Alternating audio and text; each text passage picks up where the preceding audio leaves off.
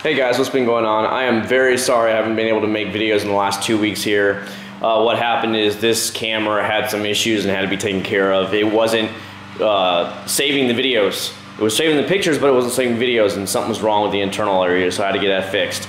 So what I had actually done is I'd actually made videos for all the three new products I bought, the Turtle, based, Turtle Wax products, and it just totally uh, didn't save it at all, and I had no idea until I went back later that day and had no time to redo it.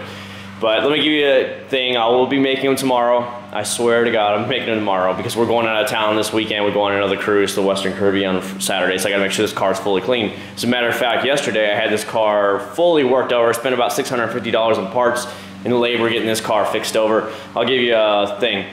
This was uh, the knock sensor that had to get done. I don't know if you can see it really good. It is rusted out. The, the backing plate was totally falling off. It was 120 bucks for that stupid thing right there.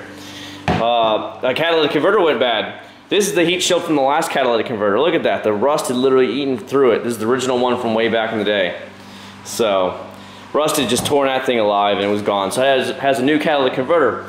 I also had to uh, clean the EGR valves and put new plugs in. So we had to drill into there and take those out and clear all that nasty carbon that's been built up. Now this is the third time the EGR valves have been cleaned and new plugs since I bought it myself in 2006 with 36,000 miles on it. Now it has 180. I can't believe it's gone that many issues.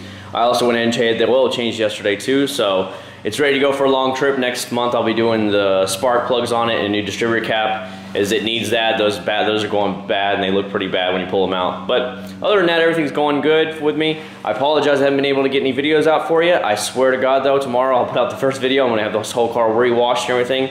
And I can tell you right now, I don't know if you can see the shine on it, there's still a little bit of shine left from the turtle uh, wax stuff, the platinum stuff I use. So, you know, pretty good because I made sure I washed the tires all the way down to make sure there was no leftover gel from the last stuff. So you'll get to see what I have tomorrow. The car is filthy right now. I did drive for two weeks. I had the transmission fluid flushed and changed as well. So I've been trying to get that in there. I've just been really working on this car, making sure everything's good to go because this is our long distance driver we use. All right, thanks for staying tuned. I am sorry, and I will make out something this whole week. The rest of the week, you'll have all new videos. Thanks again for watching. Bye.